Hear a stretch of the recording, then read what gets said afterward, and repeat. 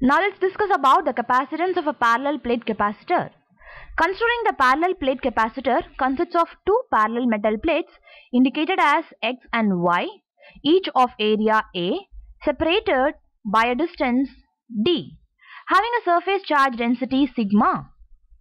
The medium between the plates is in air.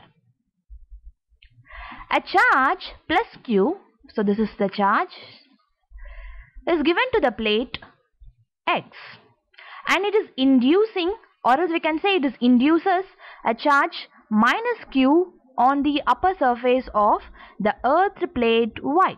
So this has been earth. When the plates are very close to each other, the field is confined to the region between them. So you can parallelly find the region of the field over here. And the electric lines of force starting from plate X and ending at plate Y are parallel to each other and perpendicular to the plates.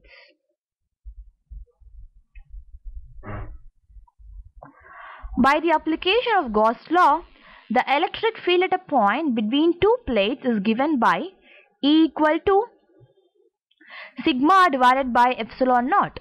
Here sigma is indicating the surface charge density whereas epsilon naught is indicating the permittivity of free space.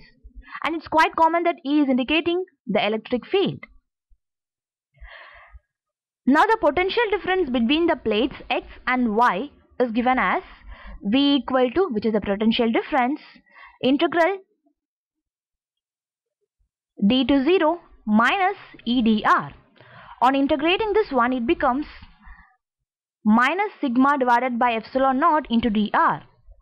Applying the lower and upper limit values it will be sigma d divided by epsilon naught. Considering the capacitance that is denoted as C, the capacitance of a parallel plate capacitor will be written as C equal to Q divided by V. Over here, C is indicating the capacitance and Q is indicating the charge and V is indicating the potential difference.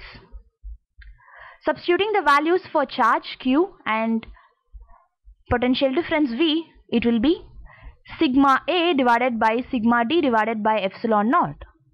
On cancelling sigma on both the cases in terms of numerator and denominator, we'll be getting C equal to epsilon naught into A divided by D.